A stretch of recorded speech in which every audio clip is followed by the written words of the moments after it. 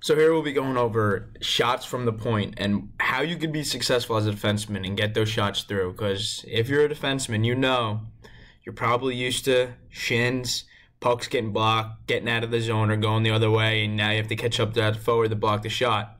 So to reduce those, these are some of the best examples from obviously the NHL. So it's a little different. You're not at their kind of level yet, but here's some good examples. This one is PK Subban, and I love what he does. Here, you could see he pauses, waits, waits, and then when he sees his guys cutting in front of the net, that's that is when you see him shoot. And if you can watch the replay, you'll see Subban wind up, wind up, hold, wait, wait, and then you'll see Forsberg and Arvidsson cut in front of the net. He waits, waits. Right when he sees him cut in front of the net, he sc- they score. So that's a perfect example. You know, you're not shooting just right when you get the puck. Your head's up, shot, double screen, bang, in. Perfect example. Generates goals, generates shots on net. This another one comes from Justin Schultz of the Pittsburgh Penguins. This is a perfect example. Really can't you don't can't do much better than what Schultz does it here. And um, Phil Kessel does a great job of you know seeing that it's available. But you see, you see where Schultz is. They got one, two, three, three guys used to shoot that puck through. His head's up the whole way. He's not really looking to shoot shoot like kind of through here. I think that's Smith. He's looking to just get the puck by him. Not really probably looking for intentional to score. He's just looking to get the shot on net. Heads up, heads up, relaxed. Shot on net right by him. He sees where Sh- Smith kind of messed up there with the, how he's blocking the shot. Stand off a little to the side, but great play. Heads up, poised, and it's a low shot, not high. That's a big thing. Got shots got to be maybe no higher than the blocker.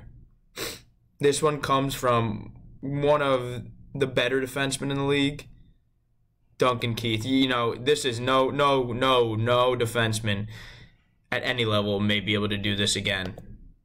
Or very rarely. Look at Keith. He's walking, walks the blue. That's a perfect example. Walking the blue with your head up. The blue with his head up. Fakes the shot once. Guy drops. Fakes the shot again. Guy goes down again.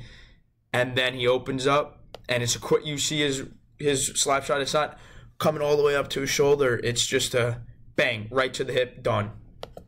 Shot on net. Goal. You could watch it one more time. Fake shot. Opens up, sees it, quick quick release to the hip, done, goal.